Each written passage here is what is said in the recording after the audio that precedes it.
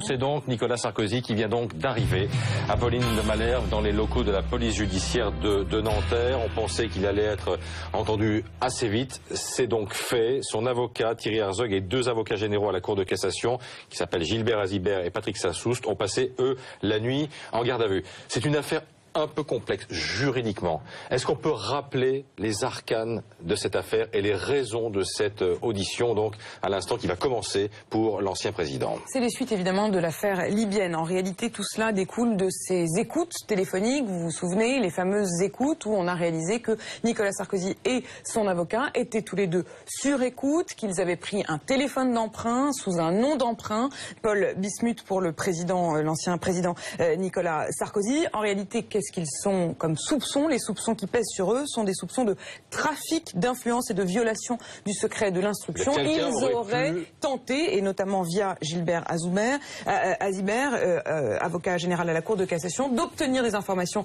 sur les affaires qui les concernaient. Donc en réalité, c'est une affaire dans les affaires.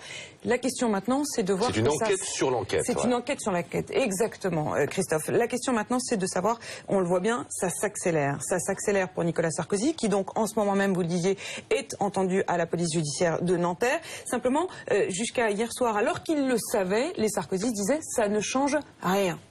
Ça ne change absolument rien. Mais est-ce que ça peut, parce que c'est une question évidemment qu'on pose de façon récurrente et elle se pose de façon encore plus aujourd'hui, est-ce que tout ça peut compromettre, ralentir annuler son éventuel retour. C'est évidemment la question qu'on se pose pratiquement tous les mois, parce que vous le remarquerez, c'est comme la météo, on a l'impression qu'il y a des orages judiciaires dans le ciel de Nicolas Sarkozy qui reviennent à épisodes réguliers. Simplement, la différence, c'est que cette fois-ci, on est juste avant un moment où il avait prévu de revenir, puisqu'il avait un agenda en tête, Nicolas Sarkozy, se présenter dès octobre pour la présidence de l'UMP, prendre la présidence de l'UMP, créer un nouveau parti en janvier prochain et aller vers l'Elysée. Et quand on dit ça aux Sarkozystes, ils vous disent, mais ça ne change rien, ça ne change rien parce que ces affaires, ils estiment que ça ne sont pas des affaires, ils vous disent les affaires quelles affaires Rien n'a abouti jusqu'à présent, disent-ils. Ils se veulent très sereins. Nicolas Sarkozy qui vient donc d'arriver à Nanterre convoqué euh, sans doute par les enquêteurs. On va y revenir avec Sarah Lou qui se trouve sur place dans quelques instants puisque dans quelques minutes il sera 8 heures. A tout de suite.